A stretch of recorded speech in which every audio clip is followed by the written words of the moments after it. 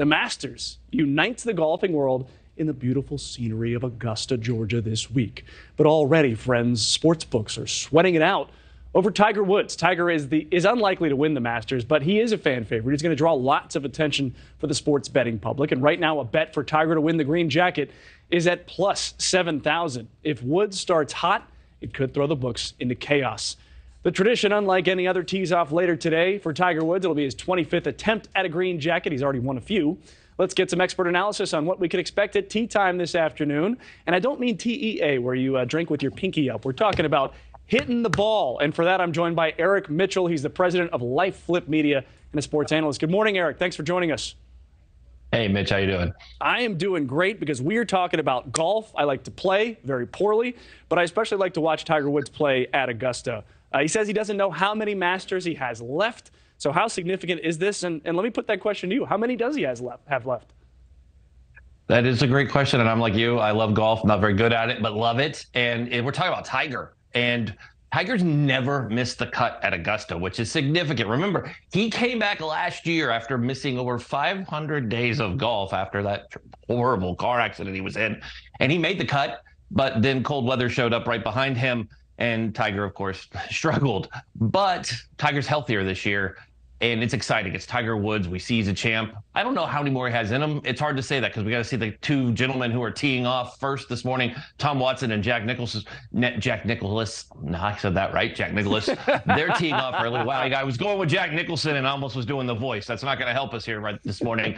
But you know, you've got these old timers teeing off. How many does Tiger to be considered competitive with these young guys that are roaring up the charts? I mean, the two number ones between LIV, which is also there with Cam Smith, the returning uh, Open champ, and of course Scottie Scheffler from Texas UT uh, is the number one guy up there.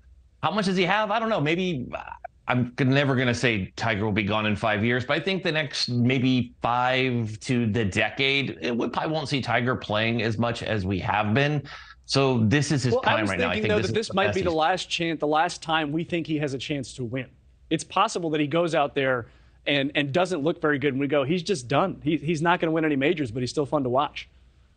You, you, know, Mitch, but I think I agree with you. That could happen, but I think the thing that's against us when we're talking about this is the biggest story. It's not LIV having all their players there. It's the weather right? Today is the best round of golf. Storms push in tonight. They're supposed to see over two inches of rain between tonight and Sunday, which would be the, if we push this out, remember Easter Sunday, Sunday, and also the final at Augusta, which makes it the Holy of Holies. And we can see for the first time since 1983 that the tournament finishes on a Monday. So wow. this weather system is ugly and very scary. So I know everybody's trying to make the story Phil is back and all these other things. And the weather's the story. Today's their best day. And how many of these guys can hold through this?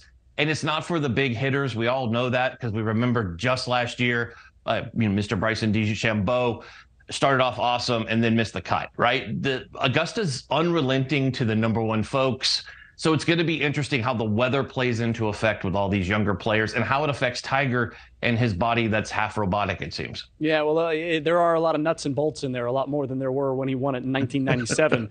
uh, but, you know, let's talk about that then. I, I was thinking to myself, Collin Morikawa is a pretty good putter. He is the best ball striker on tour. If you're going to have some wet, windy, cold conditions, he might be a guy to pick, even though he's not in very good form right now. But who are you looking at?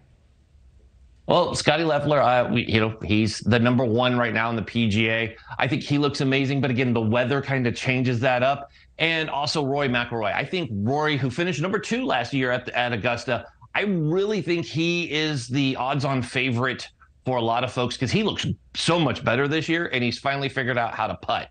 Again, wet weather and two inches of rain on Augusta doesn't make for ideal putting surfaces. So it'll be interesting. And of course, you have Jon Rahm out there, amazing, great golfer, you know, the different golfer, as they say, because he's such a gym rat and a golfer. You don't get those two combos. So there's a lot of amazing golfers out there. And then Cam Smith. How do you count Cam Smith out? And I know Phil Mickelson will say, geez, don't forget about me. I'm pretty good. And, you know, he was quiet at the, the winter dinner the other night he's there to play golf. And I think everybody just wants to keep the LIV versus PGA story out of the the holiness of Augusta and just focus on golf. So it's going to be interesting. These guys are all competitors. Let's just not forget it's Augusta. They take this serious. That's why Tiger's there. they're all going to play and they're going to play through this weather, which is going to be very interesting for us all. But I think Rory has a good shot as somebody who's been playing so good and looks so much better than he did last year. Can you? Th- Thanks for watching. Go to newsnationnow.com to find News Nation in your cable lineup. And don't forget to click the red subscribe button below to get more of News Nation's fact based, unbiased coverage.